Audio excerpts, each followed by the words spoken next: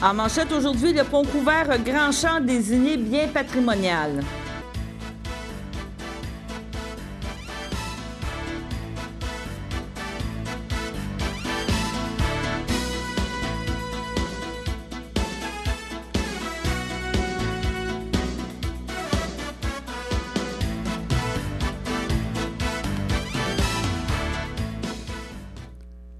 Bonjour, Mesdames et Messieurs, bienvenue à votre bulletin de nouvelles du 29 août 2018.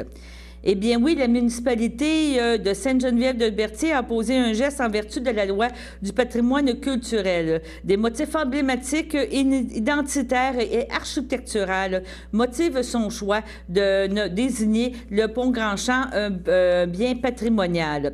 Créé à cet effet en début de l'année, le comité du patrimoine composé des conseillers Jean-Pierre Gravel ainsi que de Marc Tardif et de Wilfrid Lannoy ont préparé le terrain pour cette décision. Par un avis de motion lors de la séance ordinaire du 7 mai. Le cheminement de Sainte-Geneviève-de-Berthier s'est complété lors de celui du 9 juillet dernier. Le conseil municipal du patrimoine, justement, le conseil du patrimoine a tenu une séance publique de consultation le 12 juin. Un peu moins d'une douzaine de personnes y ont participé. Le geste de Sainte-Geneviève-de-Berthier permet de reconnaître et de préserver le caractère patrimonial de la structure qui enjambe la rivière Bayonne sur le pont du, de, pont Grand-Champ à l'intersection de la route 158. Le pont appartient au ministère des Transports. Des règles précises fixent les conditions d'acceptation de travaux pouvant y être, réalisés.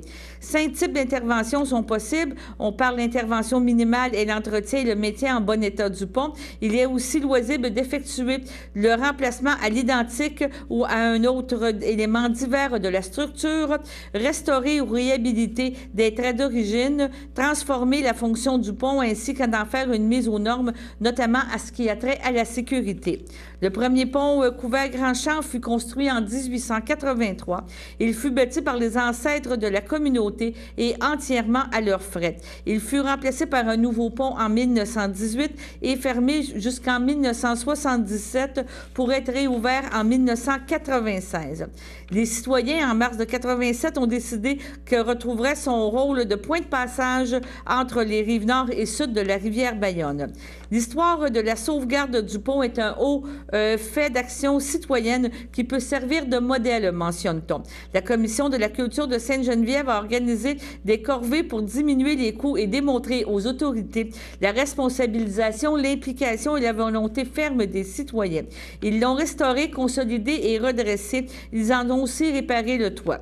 Le pont couvert Grand Champ identifié comme un de type town, donc plus précisément du type town élaboré ou town québécois. Ce terme fait référence à l'ajout de poteaux à la verticale à distance régulière, donnant ainsi plus de force à la structure. Ces poteaux sont en bois euh, vraiment consolidés par les jambes de force de leur partie attenante à la toiture. Fait de bois, il est, il est long de 34,4 mètres et possède une largeur de 4,5 mètres. Donc, félicitations justement à la municipalité de Sainte-Geneviève pour son implication justement concernant le pont Grand-Champ. Maintenant, euh, un communiqué provenant euh, de l'Académie de pêche du lac Saint-Pierre.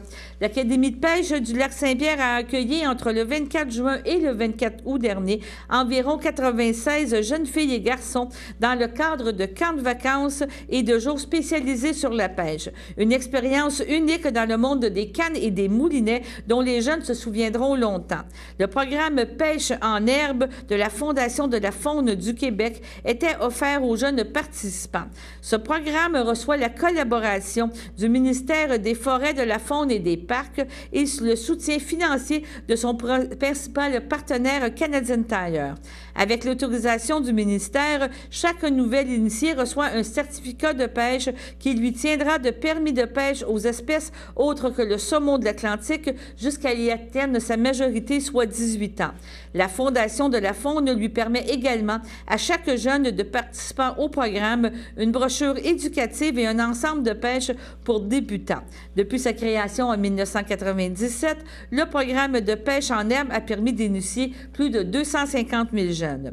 Plusieurs partenaires et commanditaires sont à l'origine de ce succès et on parle justement euh, le groupe Thomas Marine qui est commanditaire d'une embarcation et on parle aussi de la pourvoirie Roger Gladu qui a fait pour plus de 9 000 en certificat cadeau aux jeunes du camp. Donc, félicitations à M. Alec Delage et à son Académie de pêche du lac Saint-Pierre et justement encore félicitations aux jeunes nouveaux pêcheurs. La Sûreté du Québec demande l'aide du public pour retrouver Samuel Otis, 16 ans de Joliette. Il a été vu pour la dernière fois le 7 août dernier, en soirée au centre-ville de Joliette, à pied. Il pourrait se trouver ailleurs dans la région Lanaudière. Ses proches ont des raisons de craindre pour sa santé et sa sécurité. Il mesure 5 pieds 10 pouces, il pèse environ 135 livres, les yeux bruns et euh, les cheveux bruns et les yeux verts.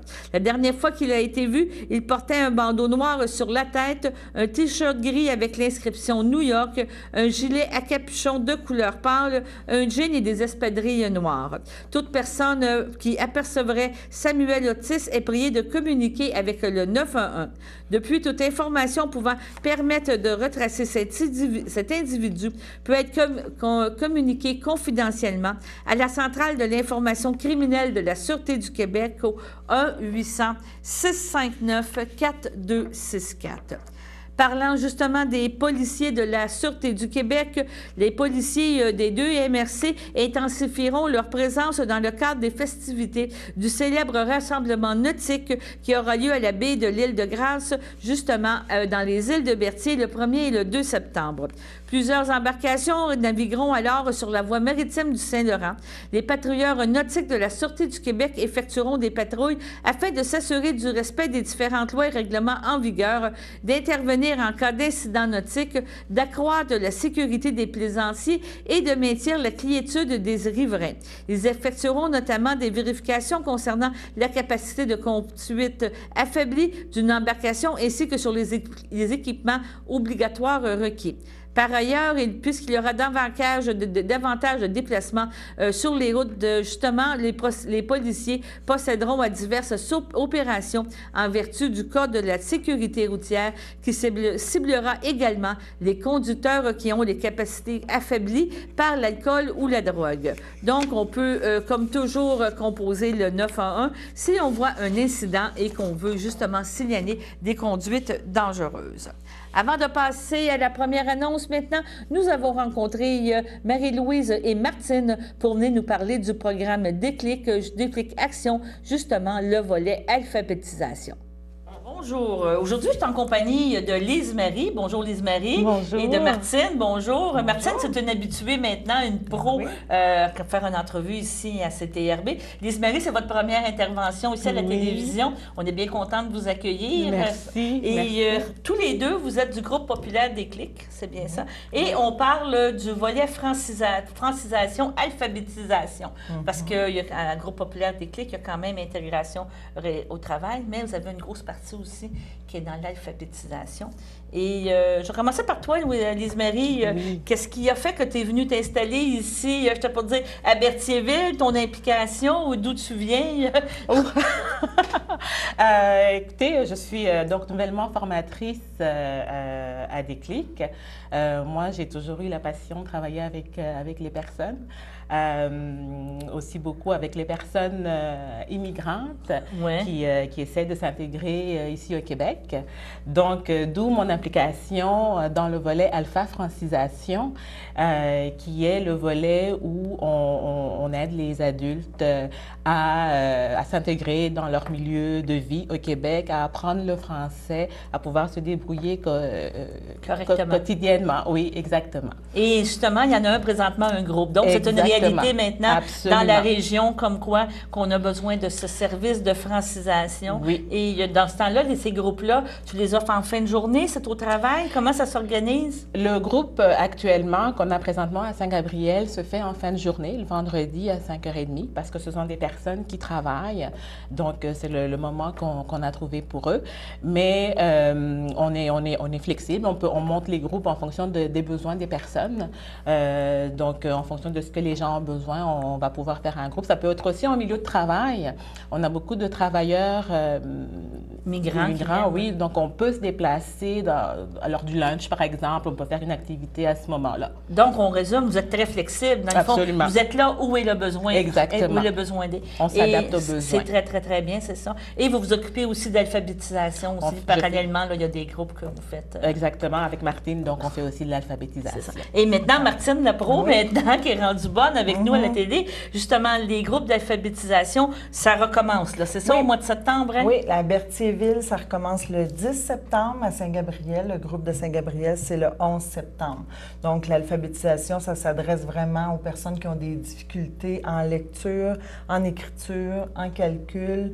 On fait même de l'informatique aussi un ah, c'est Bien, c'est très, Donc, euh, c'est intéressant. C'est une formation qui est gratuite aussi. Donc, euh, Euh, c'est intéressant pour tous. Et je pense que, justement, vous êtes en période de recrutement et je pense que la chose à dire, c'est que vous n'êtes pas seul peut-être d'avoir ce problème-là. Ça se peut que vous ayez passé vos, vos, années de secondaire, de primaire, mais mhm. vraiment être, êtes-vous vraiment fonctionnel? Je pense que c'est ça la question qu'il faut se poser. Est-ce que je suis à l'aise aujourd'hui pour lire un texte, lire, un, comme tu dis, à mhm. l'informatique, maintenant, tout se fait à l'informatique. Donc, euh, si tu as à remplir une déclaration d'assurance emploi, des choses n'importe quoi, aujourd'hui, ils vont te dire, va à l'ordinateur. Donc, il faut que tu sois capable de, de, de comprendre, suivre, accéder, d'avoir une certaine logique. Je pense que c'est ça qui, est vraiment important. Oui, puis des fois, ça peut être une façon, si vous voyez quelqu'un qui a de la difficulté, qui, qui se sent stressé quand on lui demande de lire, qui lit, mais que c'est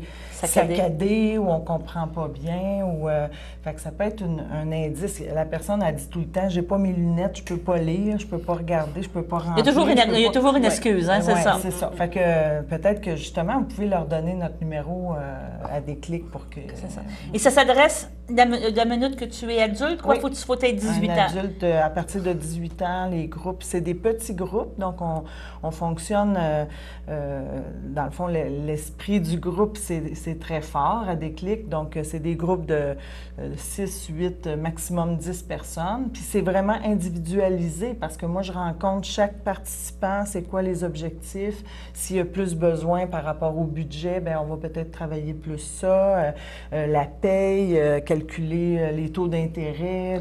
Est-ce que les groupes sont, sont, faits aussi en fonction de, de l'avancement, dans le sens que, ce que tu vas faire un groupe que tu es plus débutant, qui ont des problèmes dans un certain, dans un certain domaine et tu ne mélangeras pas là, les... Euh, si, si c'est possible, mais c'est sûr que sinon, on va quand même adapter dans le même groupe. Euh, on va multiniveau, là, qu'on dit. les personnes vont travailler quelque chose pendant qu'un autre groupe va travailler d'autres choses en même temps. Là, ça peut être ça. Vous devez voir des beaux succès, des, des, beaux... Oui, oui. Justement, on a fait un nouveau, euh, nouvel outil de promotion. Puis à Lando, on a des témoignages de deux participants là, qui, euh, qui, nous montrent finalement que c'est intéressant. Oui, c'est ça, que c'est un endroit justement pour s'épanouir, donner de la confiance, de l'estime de soi. Euh, tu avais quelque chose à nous dire? Oui, je voulais juste euh, euh, préciser, compléter qu'on on couvre la, toute la MRC d'Autré, à part la Norelle, la Valtrie. Donc, on couvre toute la MRC. Donc, si on a quatre personnes et plus qui sont intéressées dans une MRC, on va aller faire le, sur place. sur place, C'est ça que je vois. Vous êtes très flexible. Exactement. Avez-vous des maris, des enfants? Ben oui. Non, non, oui. On est passionnés de notre non, travail. Non, c'est bien. Non, mais parce que qu'est-ce qui est bon à dire? Je dis ça dans le sens que je veux dire, c'est pas quelque chose qui est de 9 h à 4 h et à 4 h, on ferme la boutique. C'est ça? quand j'ai resté surpris, quand tu me dis le vendredi après-midi, surtout 5h30 un vendredi après-midi, plus ça te tente plus de prendre un, 5 à 7 peut-être que d'aller t'enfermer dans, dans, une barre. Tu sais, je veux dire, t'enfermer. Mais, pour te franchir francisé, mais... Mais ça n'a rien à voir avec l'école, ce qu'on fait. On n'est pas des ça. profs, là. Non, non, mais quand on- même. On aide les gens. C'est un, c'est, c'est jovial. C'est, Non, c'était très On bien. est sympathique, là. Mais oui, ben c'est ça, mais je dis pas ça. Non, je dis pas, je dis ça dans le sens que je veux dire, faut en profiter, c'est Ouais. pas une excuse en disant, Absolument. comme tu viens de me dire, tu sais, là, euh, je travaille de jour, je suis pas capable, puis j'aimerais ça, tu sais, m'améliorer, avoir euh, plus de facilité. Tu sais, je voyais l'expérience ici de la personne qui me disait, tu sais, je veux pas que ce que les, les jeunes vivent, qu'est-ce que j'ai vécu. Je veux en profiter, être capable, à la limite, même d'avoir une conversation avec mes petits-enfants, de raconter une histoire, d'être capable de les suivre dans qu'est-ce qu'ils font. Mais ça veut pas dire nécessairement que je suis capable de le faire de jour parce que je dois travailler. c'est dans ce sens-là que, je vous trouve très, très bonne et euh, je, vous, je, vous- je, je- je lève le drapeau et dis, regarde, vous êtes là, vous êtes capable de le faire, puis profitez-en. Euh, c'est d'accord, Martine, on va juste rappeler les, les informations. Ça se déroule, entre autres, à Berthierville et à Saint-Gabriel. C'est comme deux points centraux, tu es d'accord Ouais. avec moi, de, Ouais, de travail. absolument. Mais vous pouvez... Vous êtes, vous êtes mobile, vous pouvez Exactement. aller faire. Ça commence le, le 10 et le 11 septembre, ça veut dire Mais c'est d'une entrée continue. Parfait, si c'est ça. quelqu'un Oui. a besoin, euh, se rend compte euh, plus tard que oui, il aurait peut-être besoin, euh, il n'y a pas de problème, on peut l'intégrer au groupe. Et la dernière chose, ben, j'aimerais savoir vos numéros de téléphone ou vos adresses, euh, peut-être Internet ou courriel, mais on va donner le numéro de téléphone qui est peut-être plus facile pour les gens, pour vous rejoindre, parce que ça serait le fun aussi de pouvoir, euh, de pouvoir vous rencontrer. Oui, c'est le 450-836-1079. Et là, vous demandez Martine ou, Ou Lise-Marie. Puis on va vous transférer. Bien, mais je vous remercie beaucoup, mesdames. C'est très Merci. agréable de vous avoir reçus. Et on va faire la promotion de, de votre entrée euh, scolaire, comme tout le monde, jusqu'au mois de septembre. Merci, Merci beaucoup. Merci. Merci. Merci. Donc, euh, maintenant, allons à la première pause.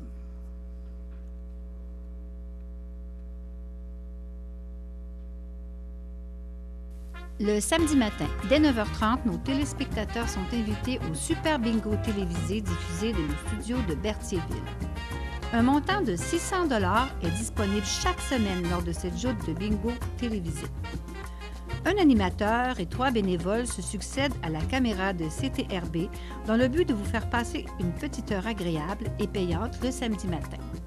On peut se procurer les cartes de jeu chez les dépositaires autorisés participants à Berthierville, le dépanneur Formule 1, rue Gilles Villeneuve, le marché IGA Extra sur la rue Gabriel Brissette, chez Métro, rue Notre-Dame, la pharmacie Brunet, rue Frontenac, le garage Pétroté sur la rue Gilles Villeneuve. Et à Saint-Ignace de Loyola, le marché Aldo rang Saint-Michel, le dépanneur Le Magasin Esso sur le chemin de la Traverse. Un rendez-vous tous les samedis matins à 9h30 sur les ondes de CTRB, votre télévision régionale et communautaire.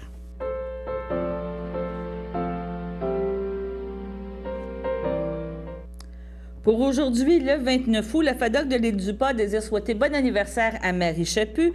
L'Association des personnes handicapées secteur Berthier désire souhaiter bon anniversaire à Alain Terrien et à Mélissa Grenier. À toutes ces personnes, bon anniversaire. Profitez-en pour bien fêter avec votre famille et vos amis. On vous rappelle que vous pouvez communiquer avec nous à tous les jours, soit par courriel à tvcberthierville à commercial. Vous avez aussi par téléphone 450 836 5103. Il y a aussi le site Internet et la page Facebook. Développement économique d'Autré a rajouté un événement et cet événement, c'est rencontrer un professionnel de la SODIL qui se présentera au bureau justement de développement économique d'Autré dans les locaux de la MRC pour vous informer à propos de l'exportation. Pour participer à cet événement, vous devez, pa- dans un premier temps, communiquer avec la SODIL au 450-841-1199 pour prendre un rendez-vous et cette activité se tiendra le 16 octobre prochain. Vous n'avez rien prévu pour le samedi 22 septembre. Vous êtes passionné par la forêt lanaudoise. Inscrivez-vous au combo. Visite de la pépinière de Berthier et randonnée commentée en forêt. Toute une journée d'activité pour seulement 12 dollars par personne. C'est ce que vous, euh, c'est ce que vous invite l'Association forestière Lanaudière. Le déroulement de la journée, on parle de 10h à 11h30. Visite de la pépinière et du centre de, de semences forestières de Berthier.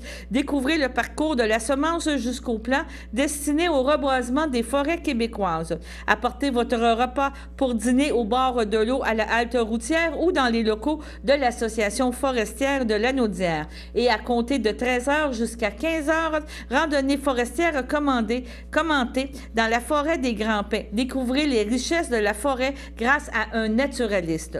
Pour information, on vous rappelle que vous pouvez communiquer avec l'Association forestière Lanaudière au 450 836 1851. Parlons un petit peu encore d'écologie et d'horticulture et le retour des activités de la Société d'horticulture et d'écologie de Dautré sera fait le 12 septembre prochain à compter de 19h30. La conférence, cette fois-ci, sera sur les orchidées. Monsieur André Poliquin, biologiste de formation qui a œuvré dans le domaine de l'enseignement et de la recherche, est retraité depuis 2010. Passionné d'horticulture depuis plus de 40, depuis, depuis 40 ans, président des orchidées de Montréal pendant 28 ans, spécialiste de la culture des clématites et des roses. Sa passion l'a amené autour du globe, donc c'est vraiment un beau sujet pour la nouvelle saison qui commence. Comme toujours, les conférences ont lieu au 1991 principal au presbytère de Saint-Cuthbert. La carte de membre, elle est euh, pouvoir l'acheter en tout temps, est au coût de 20 dollars par personne ou pour deux personnes à la même adresse 30 dollars. Et c'est comme toujours, c'est euh, toujours le deuxième mercredi du mois. Et si vous désirez acheter les conférences à la pièce, on parle d'un coût de 5 par conférence. Pour information, 450-887-0166 et on demande Sandra et au 450-836-0517 et c'est pour demander Pauline. Maintenant, on vous parle de quelques activités du CABA qui vont reprendre dans les prochaines semaines. Dès le 10 septembre, ce sera les lundis CAF Art, là où les arts et les gens se rejoignent. Tous les lundis, à compter de 13h30, découvrez un lieu de rencontre pour vous adonner à votre loisir, votre art en bonne compagnie. On parle de tricot, broderie, scrapbooking, dessin Mandela. Le coût est de 2 par personne, café et biscuits inclus. Le matériel n'est pas fourni. Donc, toujours sur la rue Champlain à Berthierville. Et pour information, 450-836-7122. Les cours d'espagnol aussi reprendront dès le 26 septembre. Niveau 1, 26 septembre de 18h à 19h30. Niveau 2, les mercredis encore euh, de 19h30 à 21h. Le prérequis, avoir suivi le niveau 1 ou avoir une base en connaissance de la langue. Le troisième cours est le niveau 2, conversation. Et ce cours se donnera le jeudi dès le 27 septembre de 19h à 20h30. Pour pouvoir accéder au niveau niveau 2 conversation, avoir suivi le niveau 1 ou avoir une base de connaissance de la langue. Le coût, c'est 100 dollars pour 10 cours et ça inclut le matériel, le café et les biscuits pour toute la session. Un minimum de 6 inscriptions est requis pour, pour débuter une session et euh, pour encore là comme information 450 836 7122. Maintenant, les exercices physiques recommencent un petit peu plus de bonheur et on parle justement dès le 4 septembre pour se tenir en forme pour des exercices pour les personnes de 50 ans et plus. À la c'est toujours les mardis de 9h à 10h, à Saint-Cuthbert tous les mardis de 11h à midi, à Berthierville tous les jeudis de 9h à 10h et aussi tous les vendredis de 10h30 à 11h30 et à Saint-Barthélemy tous les jeudis de 10h30 à 11h30. Encore là pour information, 450 8 6 7 1 2 2. Et maintenant, allons à la deuxième pause. Les télévisions communautaires autonomes du Québec, ce sont les télévisions les plus importantes parce qu'elles sont proches de la communauté. On veut encourager des gens qui parlent de ce qui nous intéresse, mais aussi qui participent au développement local. Mais c'est fini le temps là, où on allait euh, lire une affaire qui a été écrite avant hier euh, au bout du monde. Non! Tu veux savoir ce qui se passe chez vous? Bien, ma télé préférée, c'est la télé autonome, communautaire. C'est ici que ça se passe.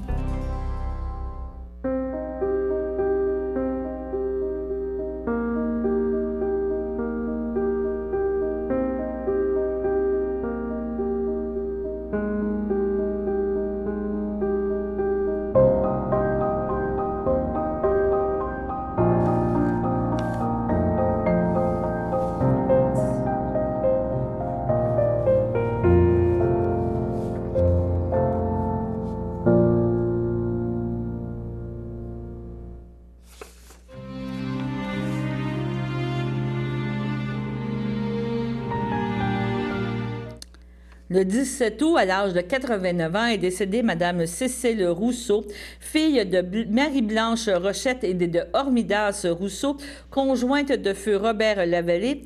Elle laisse dans le deuil sa sœur Marie-Paul, feu Florent Bonnet, sa belle-sœur Lucette Massicotte, feu Gérard Rousseau, sa belle-sœur Annette Champagne, feu Jean-Guy Rousseau, son beau-frère Roger Saint-Jean, feu Lise Rousseau, ses 39 neveux et nièces, Yves Bacon, Pierrette et Ginette Rousseau, Claude, Nicole, Daniel, Hélène, François, Sylvie Rousseau, Francine Morissette, Lucette, Richard, Jocelyne, Robert, Carole, Joanne, Céline, Gaëtan, Sylvain Rousseau, Daniel, Michel, Robert Ducharme, Francine et Yves Rousseau, Martin, Louis, Hélène Denis, Pierre Francine Jobin, Florent, Céline André, Louise Bonnet, Jacques Christian, Sylvain Chantal Rousseau, Pierre Isabelle Saint-Jean, sans oublier de nombreux parents et amis. La famille vous accueillera le samedi 22 septembre dès 9h30 le matin au complexe funéraire Efterio de Berthierville. Suivra une liturgie de la parole le jour même à compter de 12h30 à la chapelle du complexe. Le 19 août, à l'âge de 43 ans, est décédée Isabelle Drainville, fille de Normand Drainville et de Odette Philot, demeurant à Berthierville et autrefois de Saint-Cuthbert. Elle laisse dans le deuil, outre ses parents, ses fils Gabriel et Jacob Brazo, leur père Steve Brazo, son frère Martin Drainville, sa tante Denise Philot, sa, euh, sa cousine préférée Mylène Goyette, ainsi que plusieurs oncles, tantes, neveux, nièces, aux parents et amis. La famille vous accueillera le samedi 8 septembre dès midi à 14 h au salon Eftério de Berthierville. Suivra une prière à compter de 14 h. Madame Drainville sera inhumée le jour même au cimetière de Saint-Cuthbert. Au CHSLD Le Château, le 25 août, à l'aube de ses 89 ans, est décédée Mme Étienne Latour, épouse de feu Clovis Jalette, demeurant à Saint-Ignace de Loyola.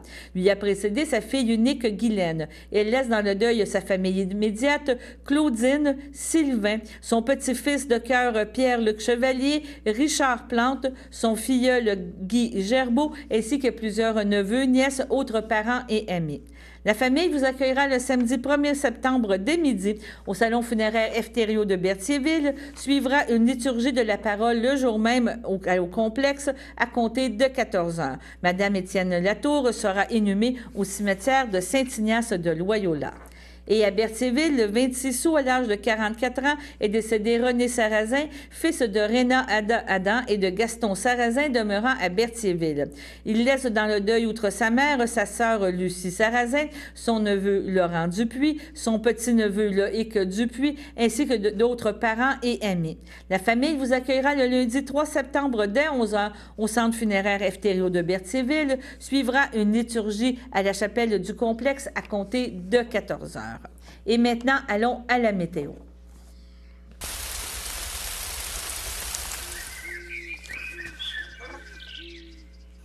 Aujourd'hui, on a quand même une température un petit peu plus fraîche. On parle d'une température d'environ 23 à 28 degrés Celsius et il y aura une descente d'air froid justement euh, juste en fin de journée.